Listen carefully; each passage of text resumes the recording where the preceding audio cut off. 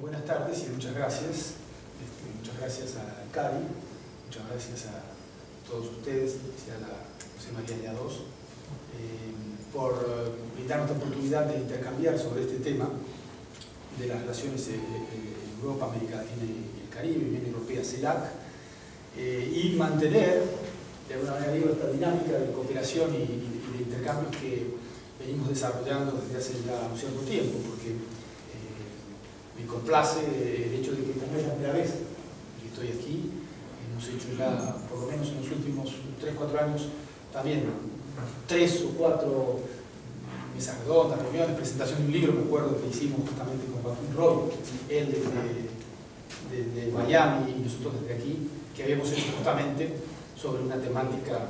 obviamente próxima de esto que vamos a abordar ahora, que era un libro sobre las relaciones eh, birregionales en América Latina tras la cumbre de Santiago. Santiago de Chile, lugar en, enero de 2013. Entonces, me, complace, como decía, estar aquí y efectivamente me parece que es un tema eh, que, como se señaló, tiene eh, bastante actualidad, a pesar de que predominan las visiones relativamente escépticas o pesimistas comparativamente a la relación de América Latina y el Caribe con otras zonas del mundo, o de Europa con otras zonas del mundo. Eh, en estas funciones eh, que se mencionaba hace un momento, que estoy desempeñando eh, desde hace unos meses, desde octubre pasado, en, la Embajada de Francia en México, eh, pues me toca, entre otras cosas, animar debates, mesas redondas, debate de ideas sobre ciertas temáticas de políticas públicas y de relaciones internacionales. Y justamente el 25 de febrero pasado organizamos una sobre justamente las relaciones Unión Europea, América Latina y el Caribe, Unión Europea CELAC, eh, en, acuerdo o en vinculación con eh, el ITAM, una institución que todos seguramente ustedes conocen, importante, que tiene además un departamento de relaciones internacionales muy dinámico, como hacemos en otras ocasiones otras con, el Colegio de México, con la UNAM, etc. Y el tema, es, el tema fue, eh, ¿está Europa siempre en el radar de los latinoamericanos? Eh, y dijimos, al lanzar esa mesa redonda, eh, en la que teníamos tres o cuatro eh, participantes o ponentes, que también podría haberse dicho de, modo inverso, es que está América Latina en el de los europeos. ¿Por qué? Porque efectivamente, si uno mira los artículos este, académicos, si uno mira las repercusiones, el impacto mediático de internacionales de regiones en distintas regiones, advierte, por ejemplo, que eh, todo lo que tiene que ver con Asia y el Pacífico aparece siempre como más eh, importante, como más demandado, como más eh, divulgado. Y de hecho lo verificamos concretamente en el caso de nuestro ciclo de conferencias en, México, porque esta reunión que se hizo el 25 de febrero siguió a otra que se había hecho el 18 de enero sobre el Trans-Pacific Partnership. Les puedo decir que el público fue cuatro veces mayor en el caso de la primera, el Trans-Pacific Partnership, en el caso de las relaciones Unión Europea-CELAC. Eh, tuvimos este, eh, unos 40 personas este, en esta última, que es una buena cifra porque es un pequeño auditorio, va a la forma similar a esta de un conversatorio, eh, solo que hay tres o cuatro ponentes que hablan solo 10 a 15 minutos y no 3 horas como voy a hablar yo, no. Entonces, este, pues eh, en, la, oportunidad del, Trans-Pacific Partnership eh, tuvimos, parece siempre 50 personas, 170. Había en las escaleras, en un piso de arriba, parecía un estadio de fútbol. Claro, matizando rápidamente con el hecho que eh, la prensa había hablado mucho de que se firmó el TPP en octubre pasado y obviamente hay un proceso de interés incluso mediático, todo el mundo quiere saber, además casi casi diríamos de qué se trata, porque es un temas nuevos. En cambio, justamente en el caso de la Unión Europea, con eh, eh, la América Latina y el Caribe, por allí opera un fenómeno inverso, una cierta, bueno, no diría cansancio y fatiga, pero ya un tema trajinado, sobre el cual se ha hablado mucho, pero me parece que más allá de estas consideraciones que podemos este, efectivamente eh, poner sobre la mesa para hablar de este tema, efectivamente, como se dijo, me parece que, actualmente eh, cobra una importancia particular porque hay algunos fenómenos nuevos que están apareciendo, que quizás no modifican radicalmente el hecho de que, eh, bueno, eh, hay eh, dificultades para que esa relación alcance niveles este, más importantes o de mayor intensidad, pero hay elementos nuevos, a pesar de que también hay un contexto que juega negativamente en varias este, dimensiones también. Entonces, mi idea es, de una manera lo más coloquial posible, porque una óptica de conversatorio más que de una presentación eh, eh, académica estricto sensu, pues dejar algunas ideas en la mesa alrededor de tres puntos finalmente. Uno, que es eh, recordar brevemente, porque seguramente todos aquí en, la sala conocen bien esto, e incluso mejor que yo, e incluso han sido artífices o han practicado estas relaciones entre las dos regiones, pues señalar que es importante tener siempre en cuenta ese marco global de lo que podríamos llamar hoy eh, el resultado histórico de la diplomacia de cumbres Unión Europea-CELAC, que es un poco el marco desde 1999 con la primera cumbre regional de Río de Janeiro, donde nos da la impresión que eh, comienza la fase más contemporánea, moderna, eh, de, saludamos aquí a Carlos que me parece importante recordar. En segundo lugar, señalar que efectivamente este pesimismo que mencionábamos, cierto escepticismo, o en todo caso la menor importancia relativa que suele darse a la relación biregional Unión Europea, América Latina y el Caribe respecto de otras eh, relaciones interregionales o internacionales simplemente que tienen que ver con el área de Asia-Pacífico, por ejemplo, pues se apoyan, ese sería nuestro segundo punto, en un contexto que es desfavorable por diversas razones, relativamente negativo, económico, pero también político, geopolítico, eh, una serie de factores que eh, concentran mucho la atención de los dirigentes de ambas regiones, pero en un tercer momento señalar que hay algunas nuevas iniciativas que dan finalmente pie a esto, a que podamos considerar eh, de manera adecuada que hay elementos para considerar que hay una cierta actualidad y un cierto interés en volver sobre estas relaciones biregionales Unión Europea-CELAC. Bueno, entonces, primer punto, estos resultados de la diplomacia de cumbres Unión Europea-CELAC que mencionaba desde 1999. En fin, podríamos decir que, obviamente, en el contexto de una relación entre dos regiones, que como todos sabemos,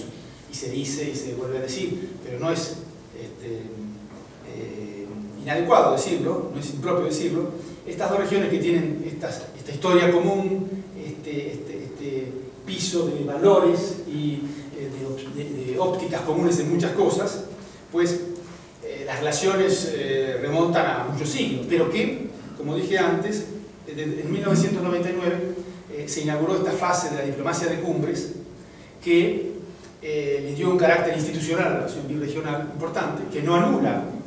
obviamente, las dinámicas bilaterales, que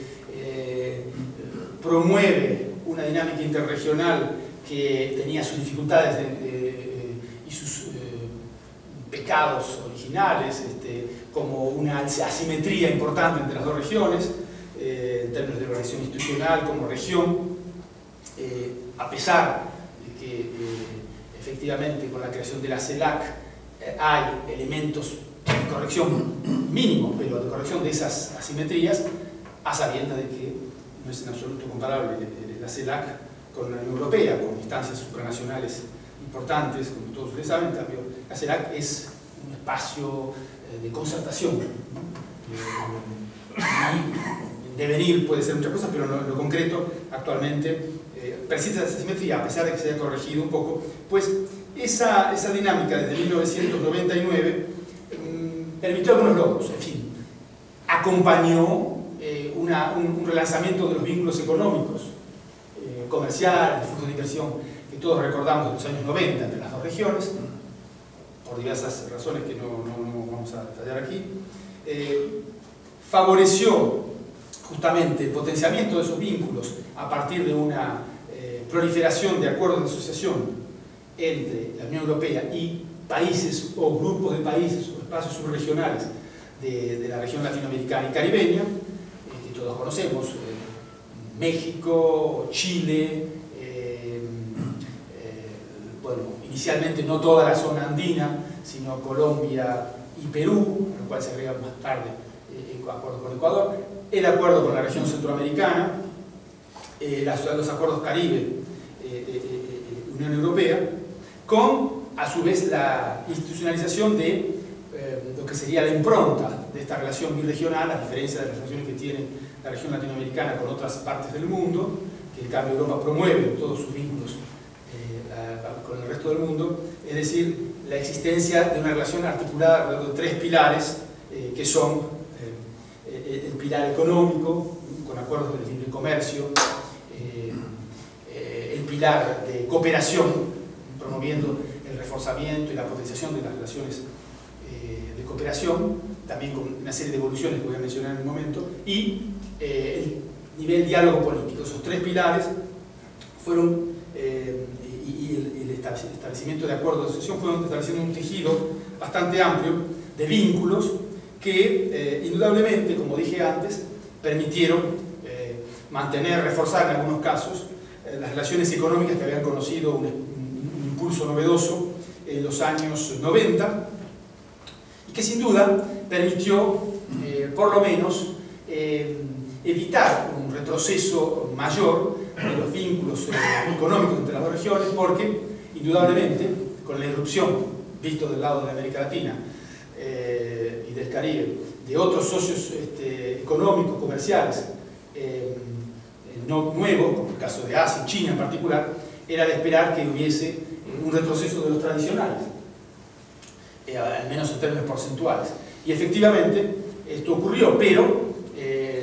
la Unión Europea como socio comercial, por ejemplo, de América Latina y el Caribe, ya desde hace unos cuantos años, está estabilizada en un nivel de 13-14%, que se mide el lado de las importaciones o de las exportaciones, y este, esta estabilización en parte tiene que ver con el establecimiento de esos vínculos institucionales que mencionamos antes. Por cierto, eh, eh, después de haber representado Unión Europea para América Latina, eh, algo más de 20% de los flujos económicos totales, intercambio hace ya poco más de dos décadas. Pero en los años 2000, por ejemplo, se mantuvo bastante esa proporción de 13-14%, eh, cuando eh, el gran perdedor finalmente de, ese reforzamiento de los vínculos de la región latinoamericana y caribeña eh, con Asia y en particular con China, el gran perdedor fue Estados Unidos, que perdió una parte importante de sus vínculos comerciales digamos, grosso modo, de 60% de los intercambios agrícolas de la región, con gran diversidad subregional, como ustedes saben, a menos del 40% en, los años más recientes. Entonces, ese, tejido jugó un rol eh, en un contexto, efectivamente, de eh, dinamismo en los 90, pero dificultad para mantener las posiciones de relaciones entre ambas regiones, el plano de la inversión y del comercio, y también jugó esa dinámica de institucionalización de las relaciones con la diplomacia de cumbre en la perspectiva de, eh, de identificar eh, elementos comunes de la relación Unión Europea, América Latina y Caribe, Unión Europea CELAC a partir de los años más recientes en que se crea la CELAC, em, racionalizando la cooperación, eh, estableciendo algo que nos parece muy importante,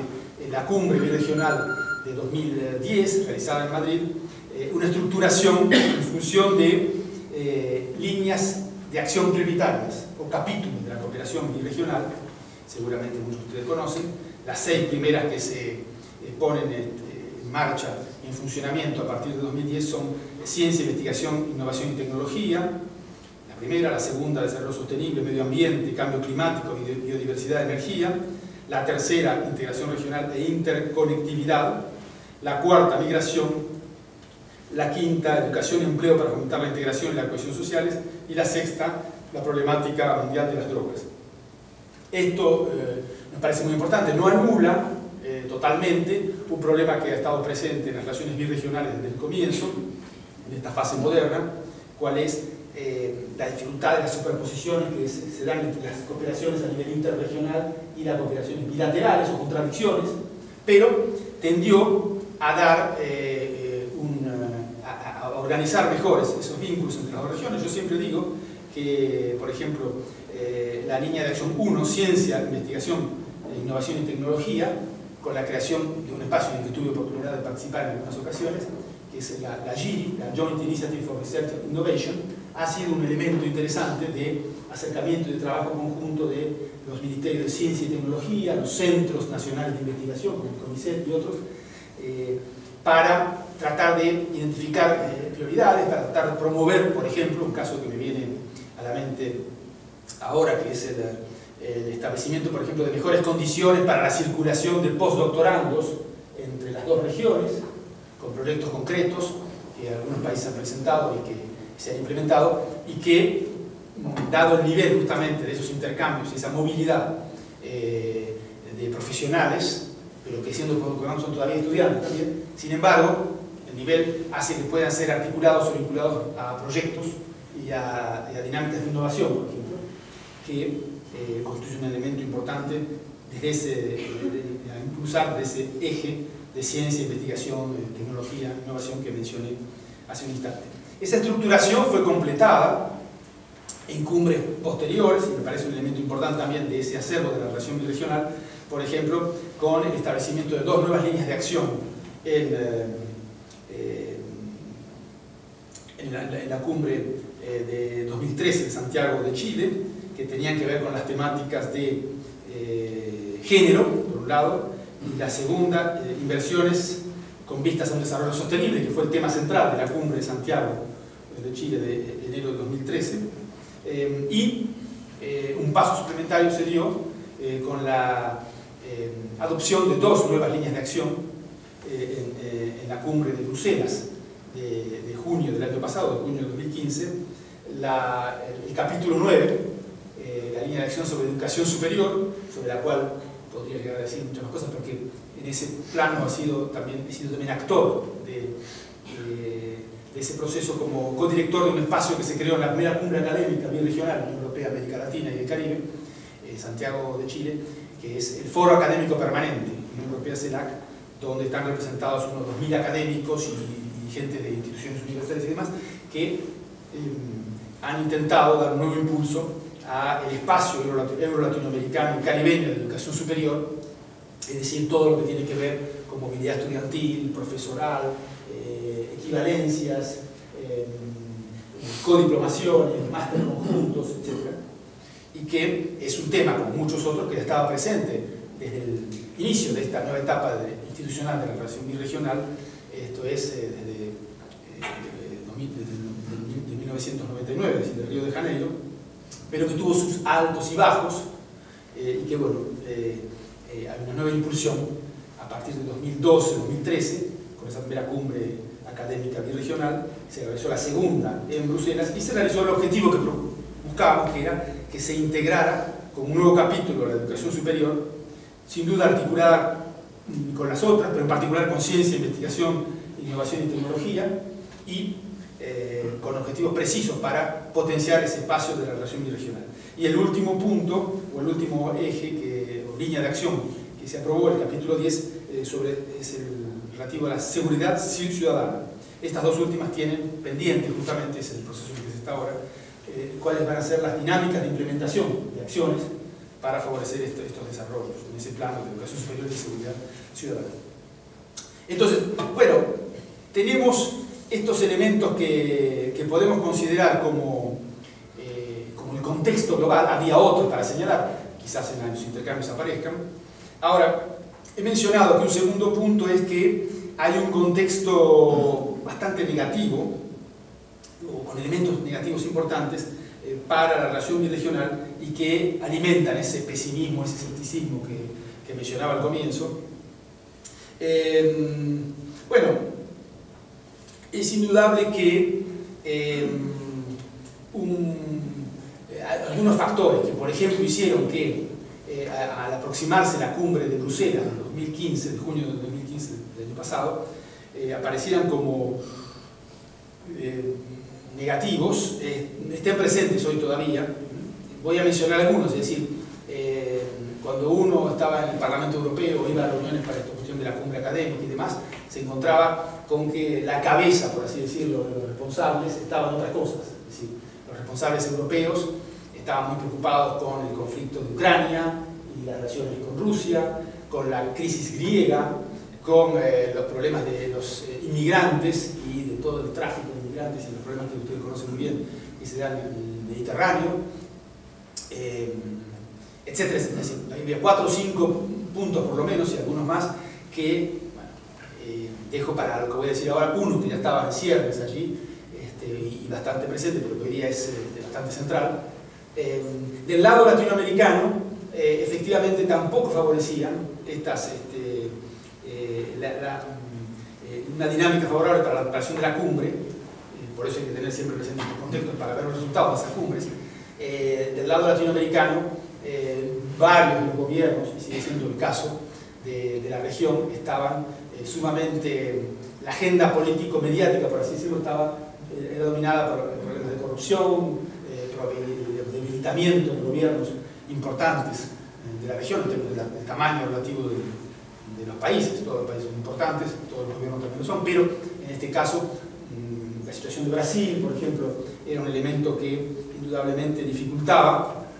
la capacidad de, adoptar este, acciones sobre el plano internacional, además que eh, influenciaba directamente, en el caso de Brasil, también los cambios de, gobierno, el gobierno de la Dilma Rousseff no le ponía la misma la misma,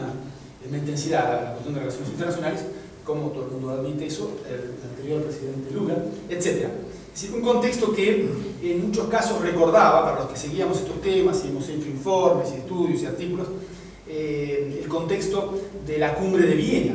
de mediados de la década anterior, del 2005-2006, es decir, eh, aquella cumbre que quedó inmortalizada por eh, la aparición de una reina de belleza, haciendo alusión a un problema fronterizo y de, gestión de, medio ambiente, etc. Fronterizo en términos de, que una frontera argentina-uruguay, eh, en la que eh, efectivamente, eh,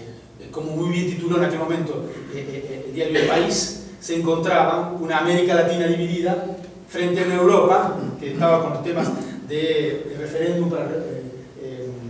una serie de dinámicas sobre la profundización o no de la integración regional, algunos habían dado negativos y otros negativos. una, una, América Latina dividida se encontraba con una Europa paralizada, lo cual no era muy bueno para que de esto surgieran cosas este,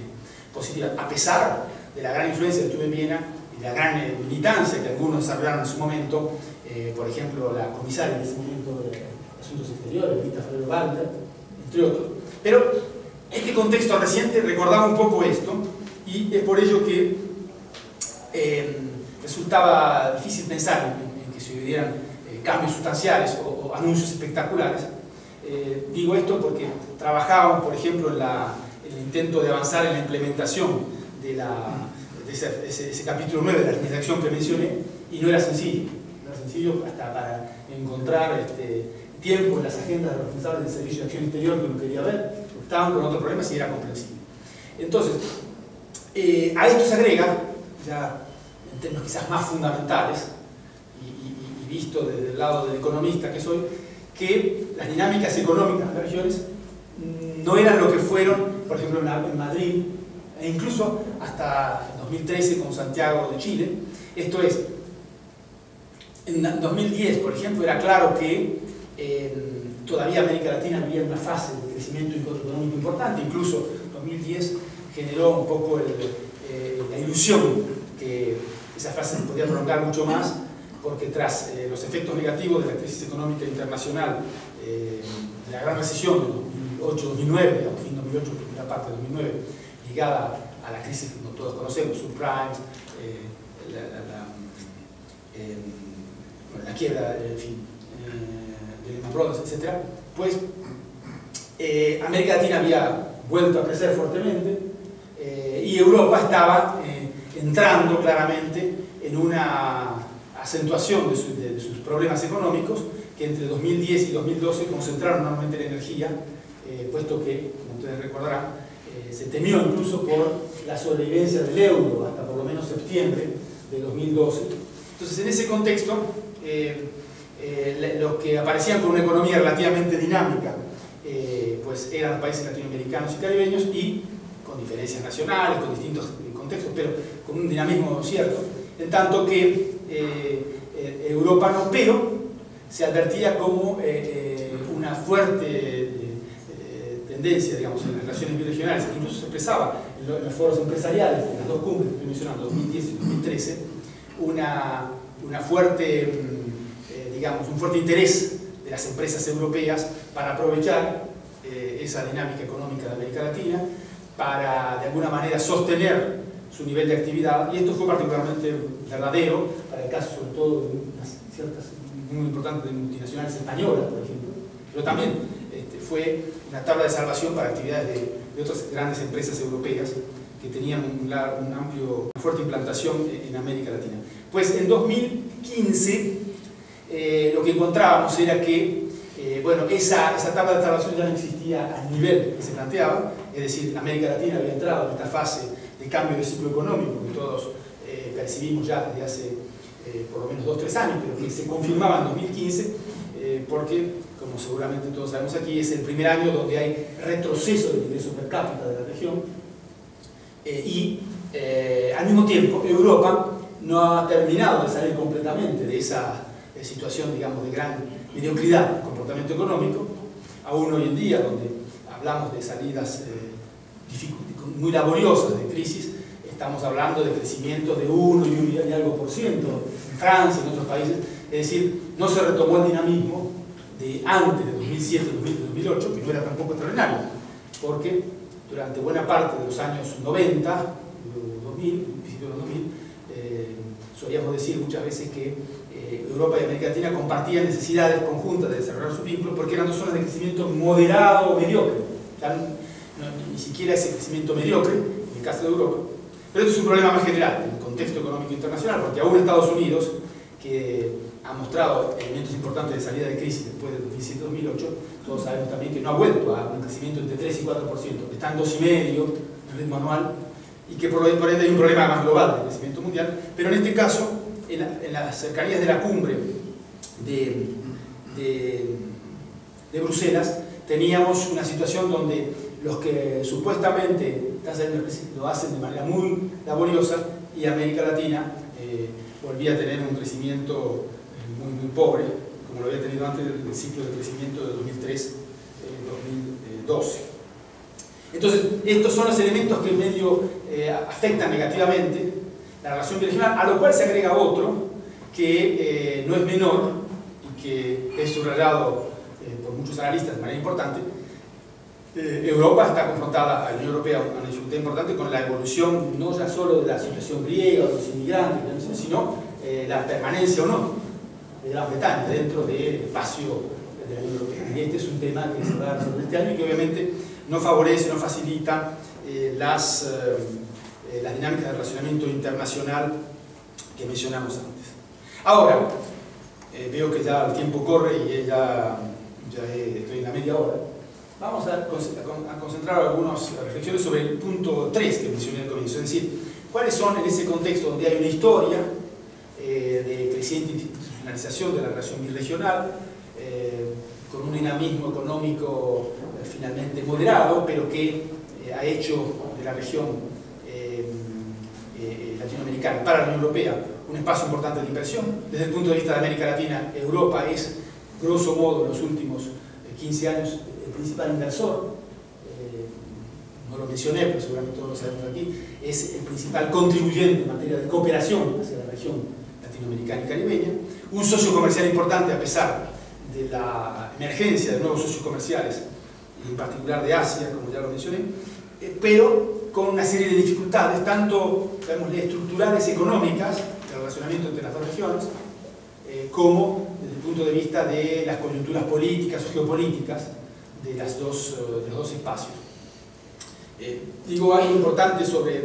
esto de, lo estructural económico. Del lado de la economía uno puede eh, pensar que si hay dos regiones que en el mundo tienen una dinámica de crecimiento débil, sus intercambios no pueden ser muy dinámicos, porque ambas este, importan poco relativamente, o, de una manera poco dinámica. Entonces ahí hay una, una, razón de fondo estructural que uno podría plantear que próximos años, si esto sigue siendo así, pues no se puede esperar eh, un milagro de gran explosión de los vínculos comerciales entre las dos regiones. sin embargo, veremos que, las pocas palabras que voy a decir sobre la situación Mercosur-Unión Europea, puede haber interés, a pesar de este dinamismo débil, porque los, los vínculos comerciales entre dos regiones tienen que ver con el dinamismo económico relativo de ambas, pero también con el grado de apertura de ambas a los flujos este, eh, comerciales, por ejemplo.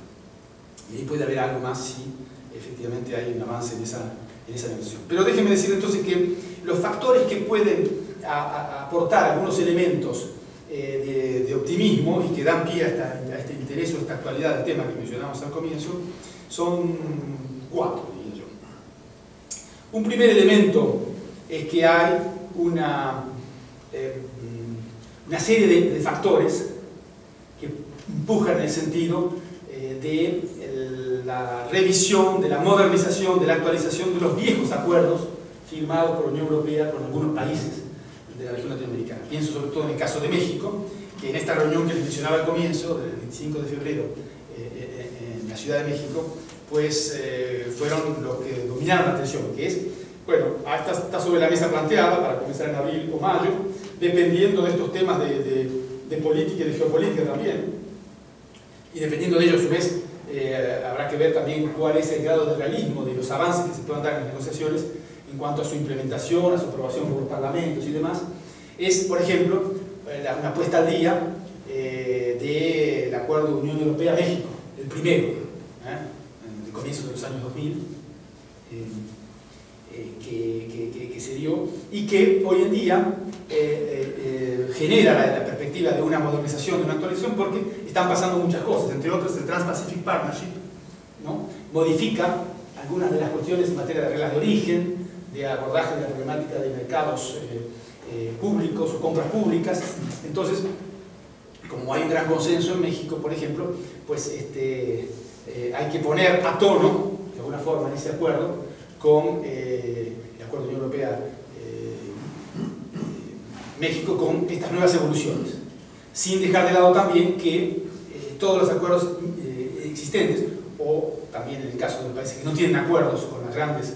polos del comercio internacional, siguen con interés también las negociaciones de un acuerdo también interregional, preferencial, como el TPP, que es el acuerdo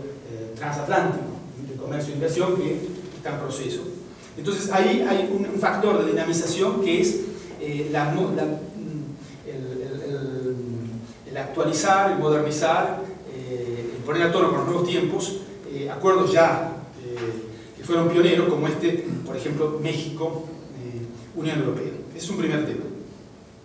Un segundo punto que me parece muy importante, que forma parte de, las grandes novedades que, se están produciendo en los últimos tiempos eh, en relación a estas temáticas eh,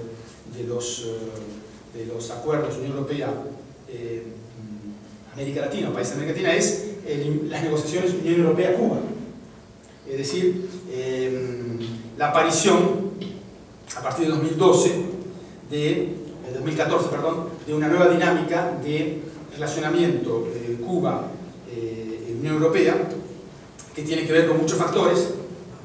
que tiene que ver con eh, el proceso de actualización económica abierto en Cuba hace ya unos años y en particular con las oportunidades de inversión que se juzgan atractivas eh, de la nueva ley de inversiones extranjeras aprobada en Cuba en marzo de 2014 y las perspectivas que abre la zona especial de desarrollo de Mariel, por ejemplo. Eh, indudablemente, el interés de un mayor relacionamiento con Cuba con eh, el resto del mundo eh, está planteado también de manera mucho más eh, aguda desde diciembre de 2014 con la apertura de una nueva dinámica de vinculación entre Estados Unidos y Cuba que todos conocemos que indudablemente genera por un lado del lado de Cuba la, idea de persistir en diversificación de relaciones incluidas las relaciones en dificultad, por decirlo de alguna manera, eh, Cuba-Venezuela, por la situación que vive Venezuela, eh, abriéndose eh, también hacia otros espacios, más, medida todavía más importante, como es el caso de la Unión Europea, para de alguna manera jugar entonces con puesta en competencia de distintos actores con, frente a la previsible, digamos, mayor presencia americana, que ya se está viendo incluso, en, en Cuba, en el plano económico. esto, por supuesto, es interesante porque implica un cambio de contexto de percepción también europeo respecto de, Cuba, que eh, indudablemente eh, tiende a dejar atrás, y si dice de acuerdo será definitivamente, eh, se habrá dado vuelta a la página definitivamente, tiende a dejar atrás la llamada posición común europea respecto de, Cuba, que priorizando la problemática de derechos humanos llevó a un cierto congelamiento de las relaciones Cuba-Unión Europea. Ese proceso eh, de, negociación, por cierto, es muy dinámico. Estamos este, a apenas unos días de, eh, de, la conclusión de la séptima ronda de negociación del acuerdo de diálogo político y cooperación. Aquí hay una especificidad, digamos, eh, donde no está planteada a partir de una zona de libre comercio, un acuerdo de libre comercio, aunque hay aspectos del comercio ligados a la cooperación que están involucrados, y eh, entonces, séptima ronda, fíjense que es un gran dinamismo de, las rondas de negociación porque se negocia solo desde abril del año 2014. Y en esta séptima ronda que se efectuó justamente en La Habana, el 3 y 4 de, marzo pasado, o sea, hace unos días, pues eh, se siguió avanzando en varios de los capítulos de la problemática de diálogo político, eh, también se avanzó en el diálogo sobre políticas sectoriales, y a esto que mencionaba hace un momento, una, articulación entre cooperación y comercio. Eh, con, la idea muy fuerte del lado eh, europeo de promover una cooperación que eh, ayude a este proceso de apertura progresiva, digamos, a los intercambios internacionales a los que, los que va a participar Cuba. encontramos aquí un elemento que no mencioné antes, pero que estaba filigrana, digamos, en la presentación sobre el contexto global de la diplomacia de cumbres y demás, que es que, indudablemente, esta relación Unión Europea, América Latina y Caribe, desde el 99 con la cumbre de Río y demás, tiene que ver también con las dinámicas de relación Estados Unidos, América Latina y Caribe, que se implementaron en los años 90. Eh, y que hay allí eh, un juego de, competencia eh, de uno y otro actor importante de las relaciones internacionales, como hoy día podríamos decir también se da entre estos dos, Estados Unidos, Unión Europea respecto a América Latina, con relación a China, apareció también como un eh, actor importante de, las relaciones externas de la región, como todos sabemos. Yo diría que eh, estas, estas, vinculaciones de Cuba, Unión Europea, mm, avanzan, según yo estuve en Cuba no hace mucho, hace dos semanas, avanzan de modo bastante firme, eh, algunos señalan que eh, podría llegarse a concluir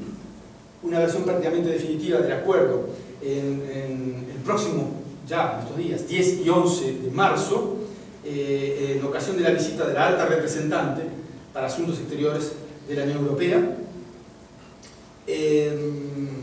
pues no, no, conocemos detalles ni los secretos del asunto, pero es indudable que si se encuentran fórmulas para hacer frente a algunos de los temas que aparecen allí como eh, eh, polémicos o complicados, particularmente el tema de derechos humanos, concepciones. De hecho, no hay reunión donde se trata estos temas, puedo citar este, eh, las últimas, incluso la conferencia de prensa que da Leffler en la, en la, tras la última reunión del 3 y 4 de marzo, eh, donde señala que obviamente eh, eh, en las relaciones entre la Unión Europea Cuba, Cuba, Estados Unidos, Unión Europea, mira la problemática de derechos humanos en la isla, o los responsables cubanos que dicen que indudablemente no hay las mismas percepciones o, análisis sobre la cuestión de derechos humanos, pero que eso no impide avanzar en la discusión y eventualmente llegar a buen puerto en un futuro no muy, no muy lejano. Entonces, eh, ese es un punto que nos parece importante, digamos, de la relación eh, biregional, este impulso renovado que tiene que ver con un hecho eh, de significación eh, importante desde el punto de vista de las relaciones internacionales actuales, que es esta, esta vinculación esta creciente apertura a las relaciones internacionales de Cuba este, con Estados Unidos, obviamente, la próxima visita de Obama, y el posicionamiento de otros actores internacionales, como es el caso de la Unión Europea. Agregaría, porque no es menor, la próxima visita de Rolling Stones también a Cuba, que, no, que parece, que podría haber parecido de,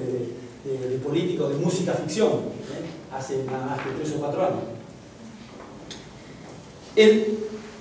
tercer punto que quería mencionar, y voy llegando ya al final de lo que quería transmitirles, es que indudablemente eh, eh, da la impresión que un factor importante en la evolución de la relación birregional eh, puede ser el, eh, el, verdadero relanzamiento de la, de la relación Unión Europea-Mercosur, tan postergada conclusión de un acuerdo de asociación de libre comercio, cooperación y diálogo político entre las, tres, entre las dos regiones, pudiera tener mejores condiciones para avanzar efectivamente. Por un lado, porque eh, hay eh, una actitud eh, positiva hacia esas negociaciones desde hace un tiempo. Recordemos que justamente la cumbre de Bruselas reiteró y subrayó la importancia de volver a retomar este, este, el hilo de estas negociaciones.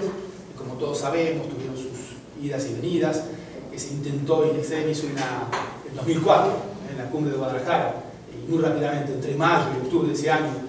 una especie de, ofensiva para, y no se concretó y que después hubo un largo paréntesis que eh, se lo tomó en los últimos años, pero mmm, con grandes dificultades. Pues eh, sabemos, digamos claramente, que hay algunos del lado europeo que piensan que un acuerdo más pragmático, que pueda encuadrar los temas que subsisten aún de dificultades y de, de, y discrepancia, es el caso de Francia, por ejemplo, eh, pues eh, impulsar favorablemente esto y por supuesto también juega el hecho que la nueva realidad, el nuevo gobierno de Argentina, tiende a, plantear la perspectiva de una, una mayor apertura eh, económica respecto al mundo y, en particular, un potenciamiento de los vínculos con Estados Unidos y con la Unión Europea. Eh, esto se agrega, esto se agrega que las concepciones de la integración del lado del Mercosur y de América del Sur pues pueden eh, evolucionar en un sentido favorable para esto. Papel que ha circulado, que no está publicado todavía, de Osvaldo Rosales, por ejemplo, que he citado en el último newsletter, no, en el último no, de, el de febrero, pasado de Félix Peña, nuestro amigo Félix Peña, eh, donde eh, se pone el acento, y tuve oportunidad de hablar con, con Osvaldo en, en noviembre pasado, cuando estaba gestando esto, sobre la temática de eh, la necesaria mayor incorporación de la región sudamericana a las cadenas globales de valor y cómo a su vez una relación Europea más fuerte podría reforzar el desarrollo de cadenas regionales de es decir, temas que no estaban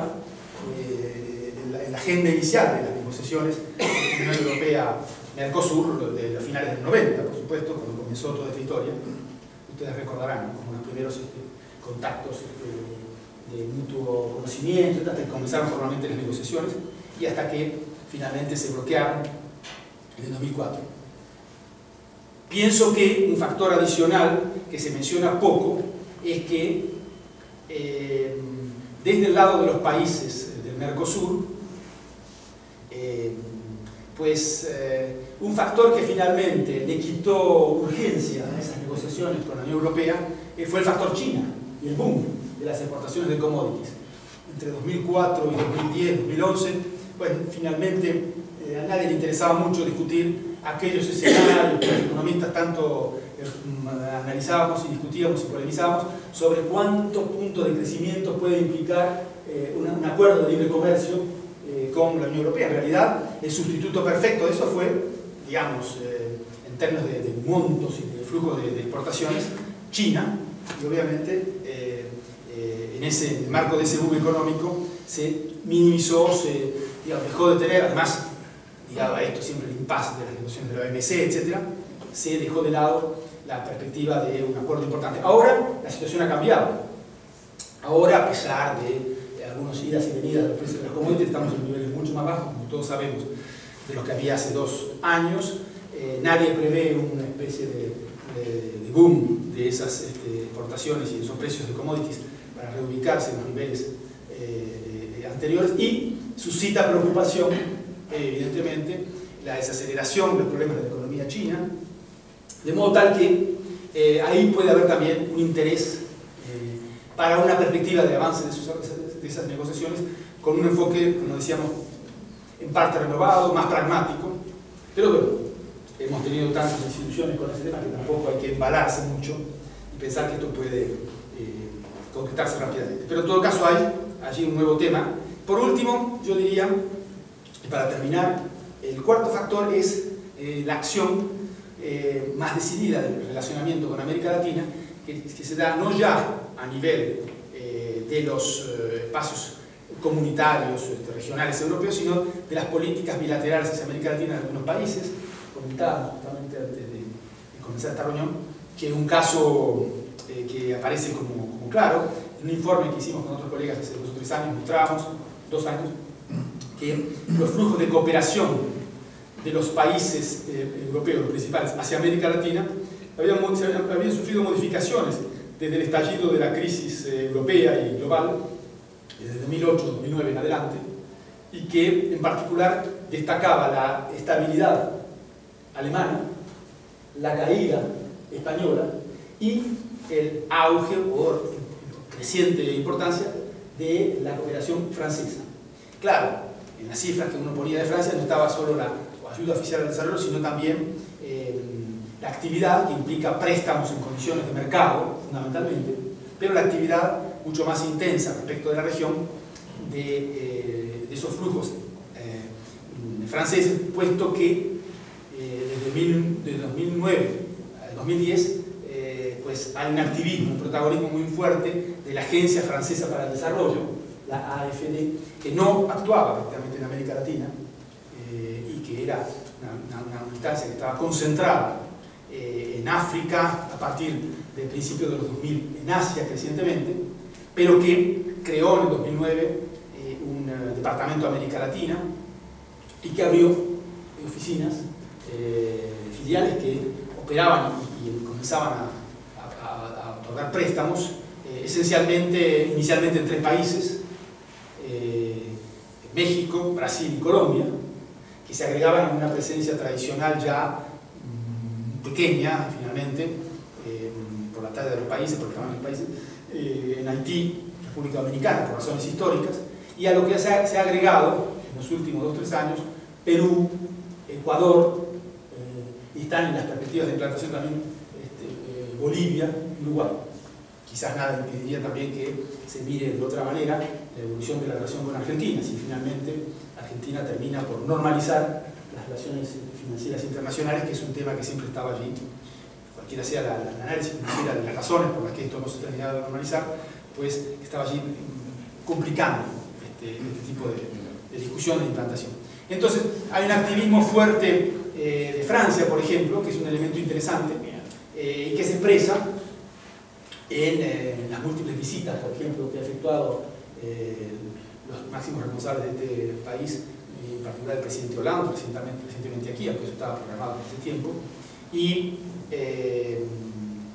México, etc. Diría que la ilustración mayor de ese activismo, y que aquí termino, es este, sin duda la manera como muy reactiva de, funcionar de la diplomacia francesa eh, para eh, constituir el presidente Hollande el primer presidente que visita Cuba este, del lado europeo tras este,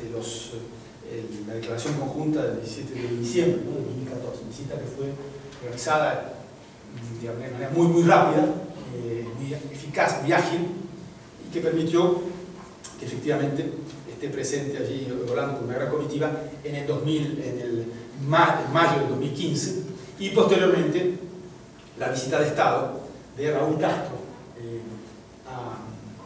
a, Francia hace unas semanas. Entonces, este es el panorama que podríamos este, presentar de las relaciones regionales, que indudablemente no agota todos los temas y que además este, eh, puede que sea eh, objeto de alguna crítica por algún, eh, según la jerarquía que uno le da distintos elementos, pero bueno, para eso está la discusión y para eso están los comentarios que seguramente ustedes harán. Muchas gracias por la atención.